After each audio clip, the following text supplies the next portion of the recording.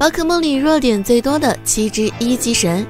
一裂空座四个弱点。裂空座是大名鼎鼎的风元神，无论是动画一打七，还是游戏里都曾有过高光。尤其在有超进化的时候，那游戏到了最后，基本上都是经典的海陆空混战。如今海陆依旧称霸剑盾，但老大哥裂空座却变得没有什么人用了。而这背后主要原因就是没有了超进化，于是裂空座就只能稳坐冷板凳。而背后的原因也是多种多样，就比如说物特均衡没有突出的地方，走物攻还是特攻，每个人都有不同的。看法，最后最致命的地方就是它的双防不高，而且属性是龙加飞行系。如果在超进化的时候，那这个属性就非常强，毕竟配合特性飞行系，直接没有弱点，力度也是很高。但要不是超进化，那不仅速度变慢，四倍弱冰的问题就被无限放大，加上力度不够，还弱炎弱龙弱妖精，碰到大部分宝可梦都只有被秒的份。层层比较下，裂空座比较能看的，也就让天气无效的气闸和本系飞冲了。二奇拉蒂娜五个弱点。在神二神话里，帕路奇亚掌管空间，蒂亚卢卡操控时间，而不受他们影响的奇拉蒂娜则是反转世界的主宰。奇拉蒂娜在剧场版里暴揍蒂亚卢卡，想必让人是记忆犹新。但更让人有印象的，估计还是时空反三神共同对抗创世神阿尔宙斯。当然了，奇拉蒂娜的暗影球被果神反弹也是经典的名场面。可是到了游戏，奇拉蒂娜就没有那么神秘强大了。首先，它是第一只幽灵系加龙系的宝。可梦天生就有着五个致命弱点，除了龙系常规弱的冰系、龙系和妖精系以外，它还弱恶系和幽灵系。即便它有着很硬的身板，但面对这些弱点还是吃不消的。三杰克罗姆四个弱点，杰克罗姆是合众地区的一级神，也是目前仅有的电系一级神。在动画刚开始，他就用打雷攻击了皮卡丘，使皮卡丘不能使用电系招式，从而耻辱败给了新人训练家修弟的腾腾蛇。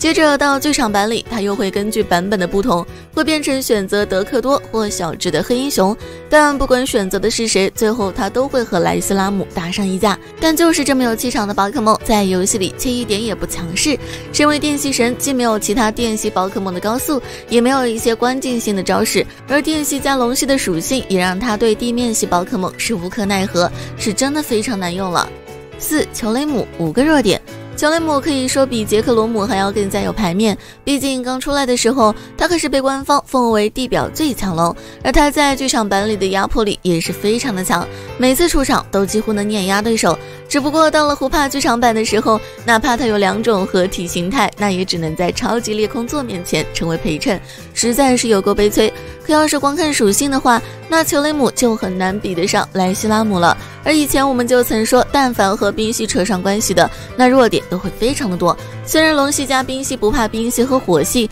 但比较克制它的那肯定非苍响莫属。毕竟球雷姆主要靠极巨化输出，而苍响巨兽斩本来就克制球雷姆，再加上极巨化的双倍伤害，球雷姆十万条命都接不住。加上苍响还有圣剑，球雷姆直接被克得死死的。不过燕白球雷姆特攻非常高，只要有队友掩护，那输出还是很爆炸的。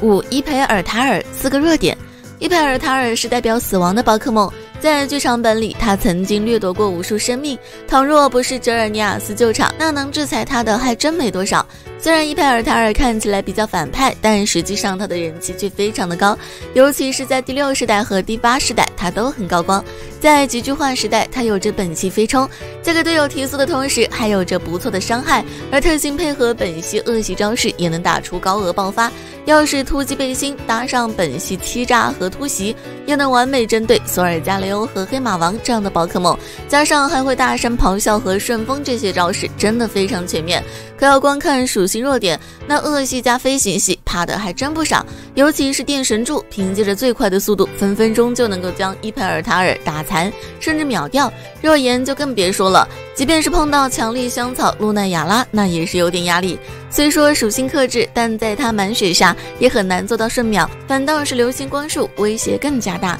而苍响凭借着高速和嬉闹，也是能够直接带走他的，这或许就是比较美中不足的地方吧。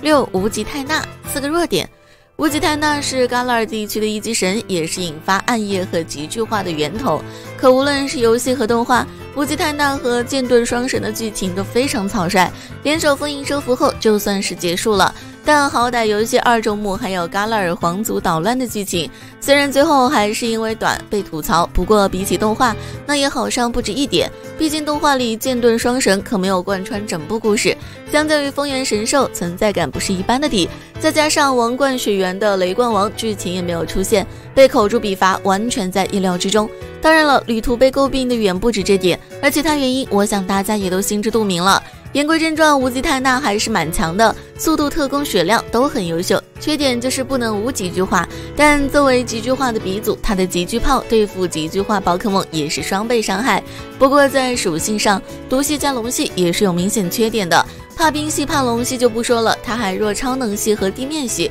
面对突击背心的古拉多，那真是非常难受。好在他不怕妖精系，所以面对苍响、鹿死神手还真不好说。